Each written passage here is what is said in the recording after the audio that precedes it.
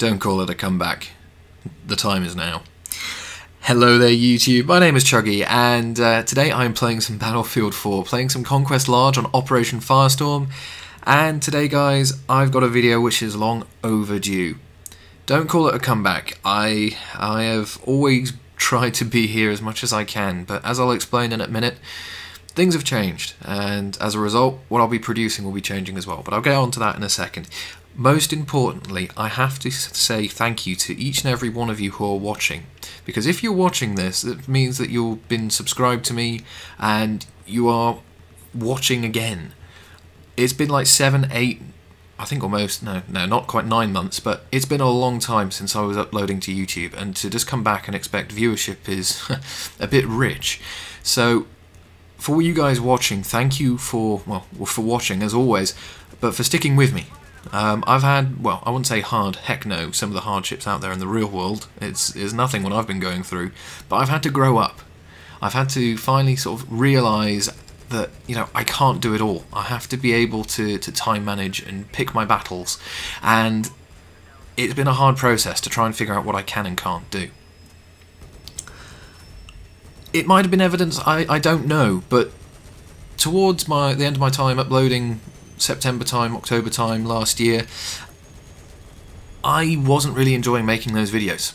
I'm not sure if it was evident in the stuff I was putting out, but it felt to me like I was becoming more and more like a factory. I was just producing videos for producing videos' sake, and as I've said multiple times, if you ever get to that stage on YouTube, it's not good. It's it's perhaps an, an idea to, to take a step back, to have a think about what you're doing and, and why you're doing it, in the first place. You know, there's no point making videos for making videos' sake. If you're going to say something, say it because you mean it.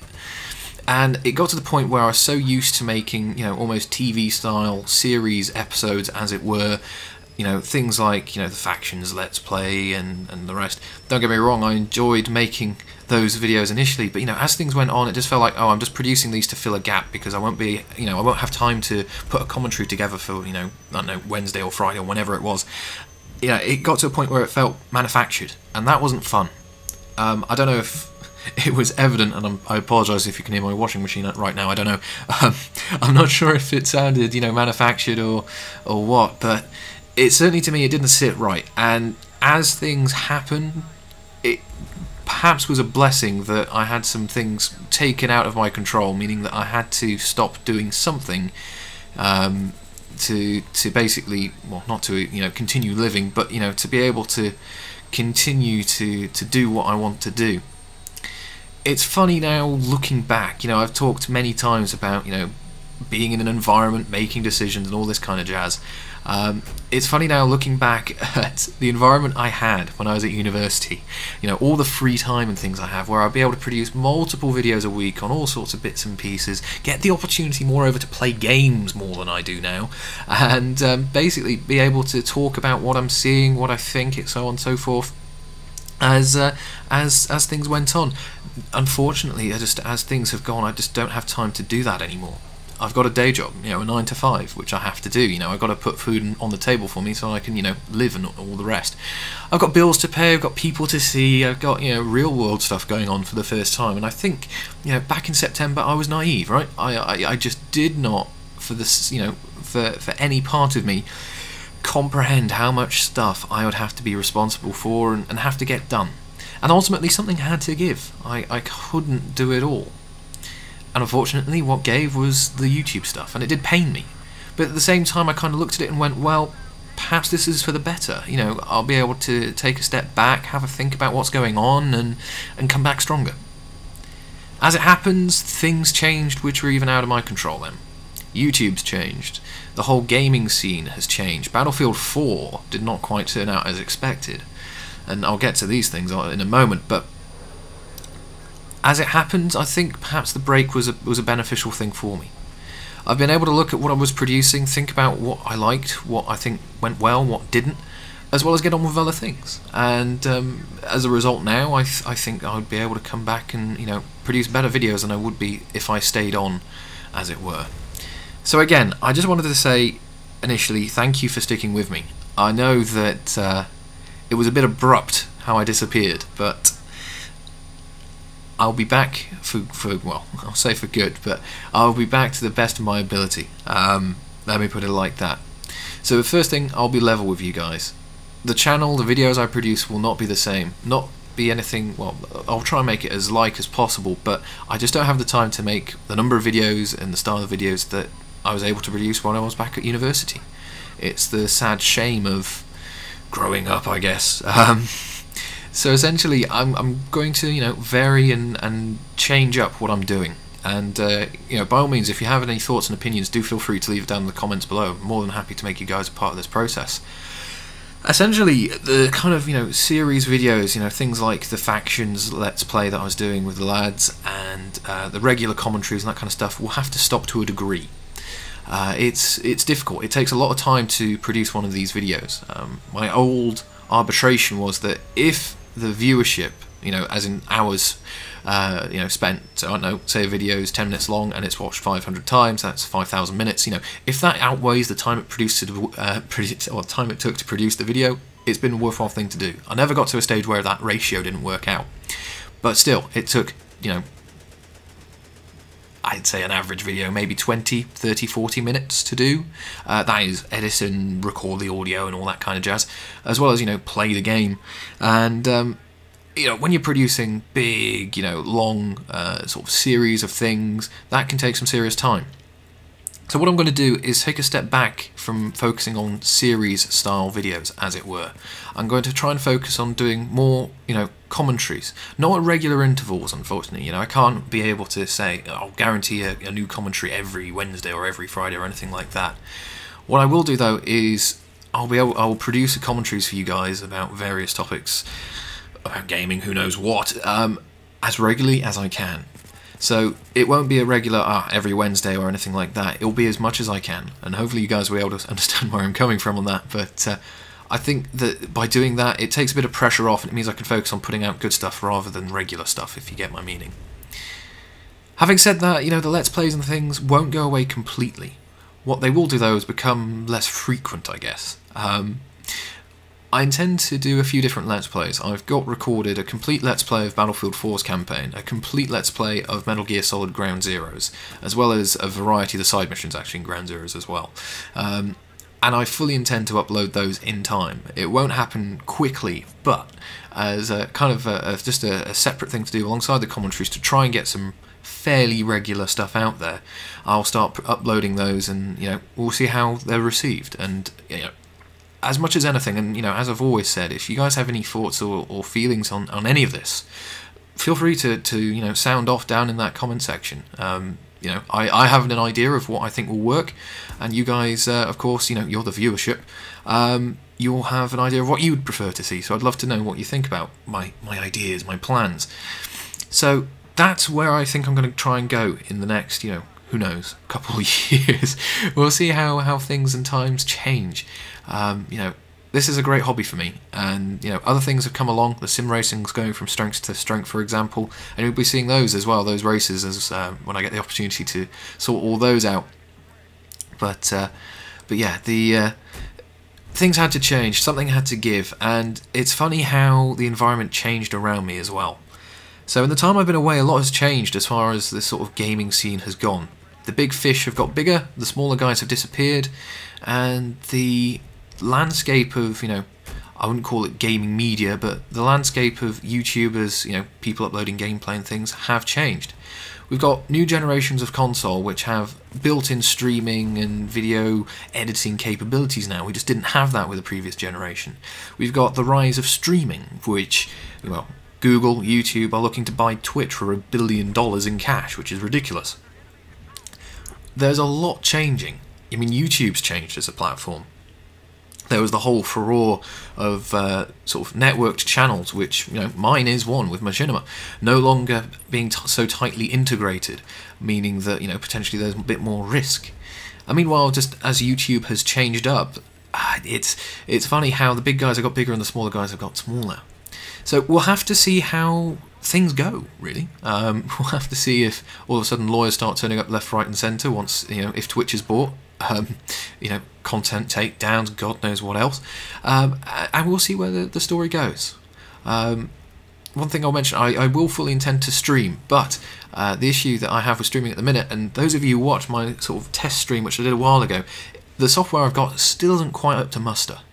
Um, one of the big factors, which also had a you know an implication in me, you know, having to stop doing the YouTube stuff, is I, I did a bit of a silly thing.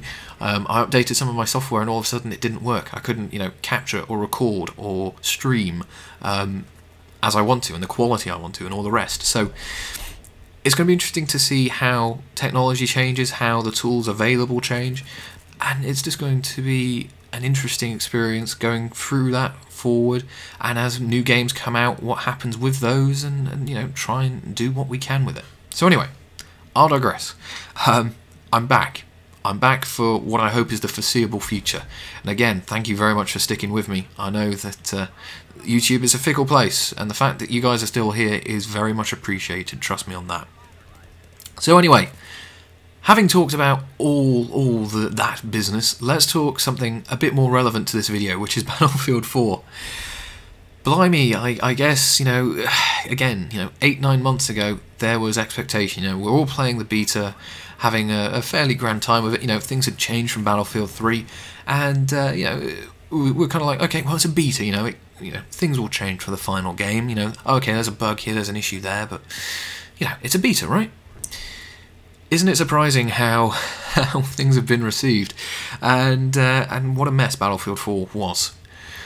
It's a kind of shame, really. Uh, I mean, I don't know about you guys, but when Battlefield works, it is so amazing to play. Um, I've had more fun in Battlefield 4 in the rounds and the games where there haven't been hit detection issues or weirdness with being shot in one bullet or or any of the various issues which have been looked at and resolved in the, the past months. When Battlefield 4 works, it really, really works. The problem is, though, that EA frankly blew it. They wanted to have a Battlefield game out last year, last September, to compete with Call of Duty again, and look at the result um, you know, a Battlefield 4, as it's now being referred to in the industry, was pulled, and what we got was a pretty messy experience, unfortunately, um, which is a real shame because it's done a lot of damage. Not to say that Battlefield is irreparably, irreparably damaged. Oh, crikey, no. Battlefield, I'm sure, will go on as a series. Heck, we've just had the announcement of Battlefield Hardline, and in fact, I actually was or had recorded this uh, commentary last weekend, but then Hardline kind of leaked and was announced, so um, so yeah, I decided to re-record it because I'm seriously concerned about Hardline, and moreover than Hardline, I'm really concerned about Battlefield as a franchise. Battlefield is it's not a simulator, but it's a war game. It's 32 army or 32 soldiers versus 32 soldiers playing for an area of land, capturing flags, rushing objectives, planting bombs. I don't know. Um, you know, it's a war game. The fact that Battlefield Hardline has been announced, sort of playing a spin on, on cops and robbers, at first I was kind of like, okay, that's a bit different. Then I saw the leaked footage and I started to worry. To me, all it looked like was Battlefield 3 with some of Battlefield 4's animations with reskins. Now, after the video was sort of released, uh, one of the head guys over at Vis uh, Visceral Games, who are the ones who are actually producing Hardline, said, "Oh yeah, that footage is six months old," and he was kind of surprised how how people responded to uh, to it. Okay, yeah, six months is a long time. Things could have changed, but I am skeptical, let's say, of Battlefield in a civilian environment. I can't see how 32 crooks versus 32 policemen would work in a bank raid. Uh, I don't think it would happen. Um, it's it's kind of you know it, it, doesn't quite sit with me right with me I guess is is the thing to say. Um, I hope that I'm proved wrong. You know, as you know, well, E3 is just around the corner. Um, you know, I hope, hope, hope with my heart that they'll show something off, and all of a sudden, everything will click into place, and it will be, you know, I'll I'll have all my skepticism well and truly answered. But I do worry that fundamentally it just to me feels like another cash grab. And we've had Battlefield 4. We had it as, frankly, a rush release. I'm a software, you know, I work on software. It's my day job. I could tell just by the way that the game was that the dev guys just simply were not given anywhere near enough time to produce the game that they wanted to produce, and the result was a rushed product. If Battlefield 4 was released now in its current state, there would be nowhere near the controversy and the acrimony that has, you know, surrounded Battlefield 4. Um, you know, I wouldn't say laughably, you know, a few days ago, Battlefield put on their Twitter, um, you know, vote for us as game of the generation. And I thought, well, utmost respect, guys. You released a game which wasn't finished, and you know, it has had its fair fair share of issues. Not to say that's a bad game now. It's been somewhat, you know, fixed and well, is a lot more playable than it used to be. Um, it, it, you know, it's not up there with games like I don't know, say Red Dead Redemption or The Last of Us, which was released in the last, if you will, console generation. Anyway, I worry for Battlefield as a franchise. I worry for Hardline because I love Battlefield because it gives you those unpredictable moments where you just wouldn't get, or you know, you wouldn't get them in other games. You know, you would have a hard time to find another shooter, first person shooter, anything at all really, where one minute you could be chasing an attack jet in a A10 Warthog trying to take it down, and then be parachuting on the ground to try and take an objective while being surrounded by enemy tanks. It's just one of those things. You just don't get that only in Battlefield experience anywhere. And I really, really hope that this isn't just EA, you know, trying to make a, you know, a Call of Duty, you know, answerer. I don't know. Um, you know, they tried with Medal of Honor and with Warfighter, which was no way a, a bad or terrible game, um, but it just didn't work. It, it didn't quite have the execution required, and I really, really, really would hate it if you know Battlefield was spoilt just to try and compete with a competitor. Which, uh, compete with a competitor which frankly is going to you know kill itself in a few years from you know just being overdone and overfarmed anyway so I worry about Battlefield 4 I worry about Battlefield. I worry about the whole series at the moment, and I really, really hope that come E3 that all these these kind of concerns are answered. We'll have no issues, and and we'll, we'll be able to look at this and laugh. But um, I do worry. So yeah, it's a it's a real shame because you know Battlefield, as as you'll see in you know the coming you know videos in the coming weeks, it's it's given me you know again so many great moments, um, so many wonderful little uh, experiences that you wouldn't catch anywhere else. I've got a series of gameplays which I'll be talking, you know, various things about what I've found in Battlefield 4 and what I'd like to see in Battlefield 5. I mean, well, we'll see what Hardline offers, um, or you know, Bad Company 3, or who knows what. Um, there is a lot of potential. There really, really is, and it would be a real shame to have it squandered just as a corporate exercise. I don't know. Anyway, I, I will stop stop on on this on this tirade, this topic, because another thing I want to talk about at this point in time is the new consoles. We've got the Xbox One, we've got the PS4, and it's funny again how what a difference nine months can make, and again what a difference a generation can make, I guess. Um, this is why, uh, or, or, the current state of play we've got, where you know Sony with their PlayStation are on a roll, and Microsoft with the Xbox, you know, they, have had a bit of an issue, and they're, they're trying to get back in the game. This is why competition is good. You know, arguably Sony kind of really screwed up with the PS3. They, they, in best intention, wanted to give it the most powerful processor and this interesting that and this interesting other, and it didn't quite work when it came to the games. You know, it was hard to develop for. Meanwhile, Microsoft with the Xbox 360, they came out a year earlier, they had more accessible hardware, and they hit the ground running. And they schooled Sony in the previous generation. And isn't it funny how, you know, a few years later, we're basically in the exact opposite situation. We've got two companies going at it hammer and tongs with, you know, trying to to be the, the latest and greatest and look at what we've got. As I've already said, we've now got consoles which, you know, you can inbuilt edit, stream, upload to YouTube, Twitch, whatever you like. Um, loads of social integration. I mean, perhaps it is a product of the times. You know, the world, you know, with, for example, um, YouTube, social media, all this kind of stuff. That is a much bigger presence than it was back when the 360 and the PS3 launched. But you know, because these two companies are after consumer dollars, basically, you know, our money to um, to fundamentally, you know, buy their console or buy their product, that they're really, really pushing themselves. As, ironically, as I've been talking about, you know, oh, isn't it great when Battlefield works? Let me just pick up this antimatter rifle. No, no, there we go. Um, yeah, isn't it funny how...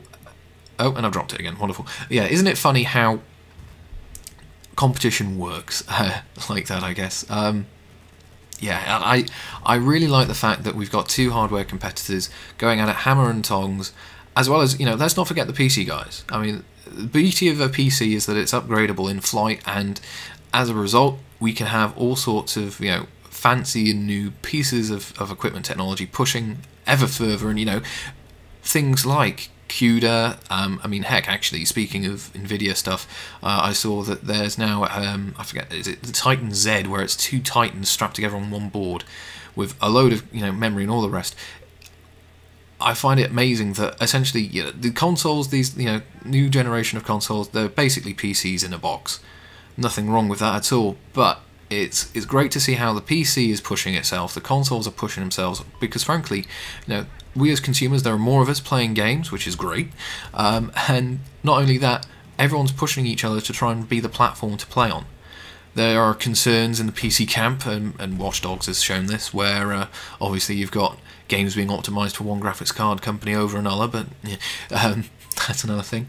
But I'm really encouraged to see basically with new hardware everyone is trying to to get you know well and truly in the game with new games, ideas, technology, all the rest to try and give us you know new and interesting experiences, which fundamentally at the end of the day will mean we buy their product over someone else's.